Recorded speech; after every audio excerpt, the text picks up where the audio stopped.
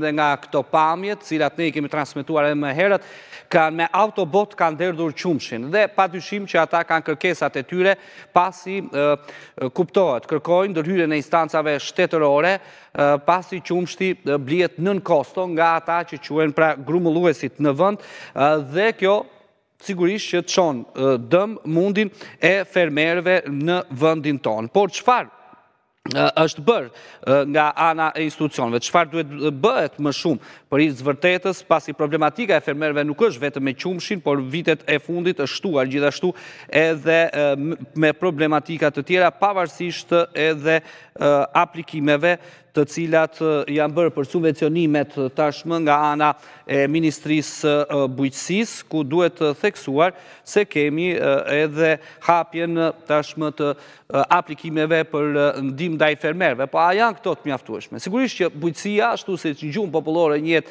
si shtëpi pa çati, ka problemet e saj. Por shpesh ne i kemi parë fermerët në vendin tonë të dalin në protesta. Cilat janë problematikat, cilat mund të jenë zgjidhjet konkrete, a mjafton buxheti për bujqësinë në ndihmë të fermerëve dhe blegtorëve shqiptarë, ku duhet theksuar se tashmë ne kemi edhe, sidomos përveçse në bujqësi, por edhe në blegtori, duhet theksuar se tashmë nga viti në vit ne pothuajse po humbim krerët me bagëti në fshatrat më të thellë të vendit, por jo vetëm. Kam Agim Rrapaj, kryetar i Këshillit të Agrobiznesit Shqiptar në këtë intervistë Skype. Zoti Rrapaj, përshëndetje. Përshëndetje, faleminderit për ftesën. Faleminderit ju. Zoti Rrapaj, ju jeni njohës i mirë dhe keni qenë pothuajse edhe në takime si me përfaqësues të ministrisë ashtu edhe me me me fermerë. A nuk mund të evitohen për shembull këto pamje që ne pamë që ishte Për të ardhur keq dhe për të vënë duart në kokë. Pra qumështi i cili nuk shitet dhe hidhet në rrugë për shkak se nuk gjendet një marrëveshje me ata të cilët janë edhe grumulluesit në vend. Po keni shumë të drejtë, në fakt janë pamje që mund të eliminohen, duhet të ishin eliminuar me kohë. Kemi paralajmëruar për këtë ndodhi kohë përpara. Bile mund të them që kemi paralajmëruar që në 2018-ën, që të mos ndodhin fenomene të kësaj natyre, duhet të merreshin disa masa, po për fat të keq, ato masa nuk janë marrë siç duhet, mm -hmm. nuk janë marrë në kohën e duhur dhe nuk është bërë aq sa duhet për të parandaluar këtë fenomen që po ndodh tani, po jo vetëm tani, po edhe më përpara ka ndodhur. Fermerët kanë protestuar, fermerët kanë ngritur problemet, kanë sqaruar, kanë dhënë rrugëzgjidhje, Por për fat keq, nuk po ndodh ajo që ne presim. Por cilat, si mund të gjendet për shembull zgjidhja që a ka mekanizma Ministria e Bujqësisë që të arrijë të ulë dhe të gjejë një marrëveshje edhe me grumbulluesit që fermerët apo blegtorët të mos i shohim më ato pamje që i pamë sa herë? Nuk është çështje vetëm e grumbulluesve, nuk është mhm. çështje vetëm e prodhuesve, nuk është çështje vetëm e ministrisë. Është një çështje mjaft komplekse që ka të bëjë me koston që ne e kemi për, përmendur mhm. dhe e kemi trajtuar ko, shumë kohë më parë që në 2018-ën. Kur mblodhëm të gjithë ish-ministrat e bujqësisë, mblodhëm ekspertë të mirë të vendit, u ballafaquam në një tryezë të përbashkët të rrumbullakët dhe përcaktuam edhe masat që duheshin marrë. Por faktikisht për uljen e kostos nuk u morën ato masa që ne propozuam të merreshin dhe po ndodh kjo që po ndodh me fermerët e prodhues të qumështit. Duke qenë më konkret në këtë çështje, unë dua të theksoj që ne ne kërkuam që në radhë të parë kur u bë ndryshimi i TVSH-së nga 20 për qind po. në 6 për qind dhe nga 6 për qind në 0 për qind, i kërkuam politikëbërësve që paketën në paketën fiskale të mos e merrnin një masë të tillë, të mos e merrnin për arsye sepse grumbulluesit nuk kanë interes që të blejnë tek fermeri kur nuk u rimbursohet TVSH-ja. Është një shkak shumë i rëndësishëm që duhet të rregulluar dhe duhej rregulluar me kohë. Mhm. Momenti i dytë ka të bëjë me po. rënien e nivelit të shkëmbimit të dollarit, të kostos, të euros dhe rritjen e çmimeve të blerjes së produkteve të lëndëve të lëndëve të para veçanërisht për sektorin e blegtorisë. Rritja e fuqisë e vlerës së fuqisë punëtore njëkohësisht është një element tjetër që ndikon që ndikon negativisht. janë elemente që nuk varen nga fermeri tashmë dhe duhet patjetër një ndërhyrje. Dhe për këtë ndërhyrje ne propozuam që për qumështin veçanërisht, qumështin po. cilësi e parë, të kishte një subvencion për njësi prodhimi, jo subvencion për krerë, siç është sot aktualisht dhe me limitet që kanë qenë kohë më përpara. Pra, por edhe kjo nuk u bë. Mm, pra, jo për krerë, por po. për njësi? Si, si për, për, për litër qumësht, uh -huh. për litër qumësht cilësi e parë. në mënyrë që edhe të mbështesim cilësinë, rritjen e cilësisë, të garantojmë sigurinë ushqimore, por njëkohësisht të përballojmë edhe kostot që ka kjo ka ky produkt në, në veçanti.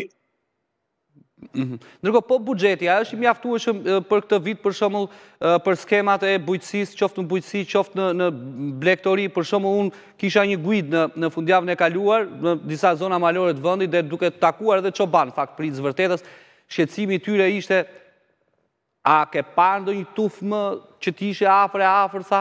Kam mbetur vetëm unë tha njëri që mbulonte pothuajse a 10 fshatra të braktisura.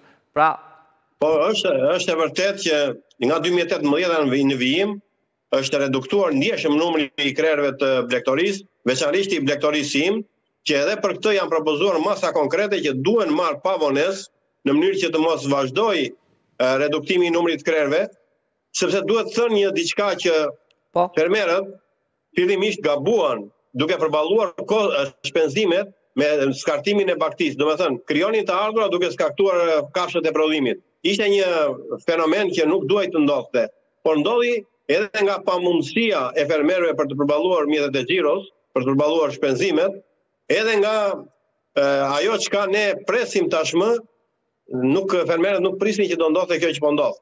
Prandaj është e domosdoshme që të mos vazhdohet më me skartimin e numrit të krerëve të prodhimit, por të mendohet për shtimin e tyre, të mendohet për rinovimin e tufës, të mendohet për tufat e reja. Por që të bëhet kjo, duhet patjetër që të shtohet ajo që u tha të shtohet buxheti. Nga studimi që ne kemi bërë, mm -hmm. Ministrisë së Bujqësisë i duhen shtuar edhe 90 milionë euro që ajo të përballojë minimumin e nevojave të mbështetjes për sektorin privat, jo vetëm për blegtorinë, por edhe për sektorët e tjerë. Pra është një domosdoshmëri shtimi i buxhetit, është një domosdoshmëri shtimi i buxhetit për skemën kombëtare, veçanërisht sepse u kthyem mbrapa Nertil, u kthyem mbrapa, ishim 52 milion euro vitin e kaluar, u kthyem në 32 milion euro këtë vit me me supozimin ose premtimin a sido që ta quajmë se do të shtohen gjatë periudhës në vijim me aktet normative. Por buxheti është i pamjaftueshëm.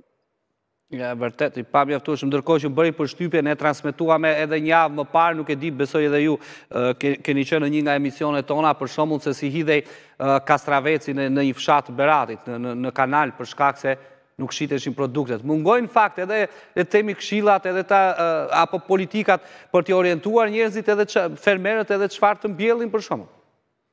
Nuk është çështje vetëm e politikave, nuk është më çështje e çfarë ata do të mbjellin, është çështje kostoje e produkteve që ata ata mbjellin, po njëkohësisht është edhe çështje e informalitetit. Kemi një informalitet shumë të lartë dhe për këtë duhet të punojmë ndje, fuqishëm në mënyrë që të përballojmë këtë krizë që ne kemi aktualisht në sektorin e bujqësisë, veçanërisht nga informaliteti, por edhe nga konkurrenca e pandershme. Duhet të theksuar në po. të tillë që Shqipëria përdor nivelin më të ulët të subvencionit në rajon, nivelin më të ulët të subvencionit krahasuar edhe më gjërë dhe bën që importuesit e produkteve të qumështit veçanërisht dhe të produkteve të tjera të krahasueshme të kenë një avantazh krahasuar me prodhuesit, sepse në vendet ku këto produkte subvencionohen më tepër, nuk është më një konkurrencë e ndershme me prodhuesin vendas, me grumulluesin vendas, por është një konkurrencë e rrezikshme dhe e pandershme. Pikërisht për këtë ne duhet të përafrojmë patjetër masën e subvencionit me rajonin nga ku ne importojmë, veçanërisht nga Serbia, ku ne importojmë një sërë produktesh, Ushqime për blegtorinë në veçanti dhe njëkohësisht, por edhe nga Bashkimi Evropian, ku ne përsëri importojmë një sërë produktesh duke përfshirë edhe qumështin. Zoti Rrapaj, unë ju falënderoj për kohën, ishte kënaqësi, ditë të mbarë.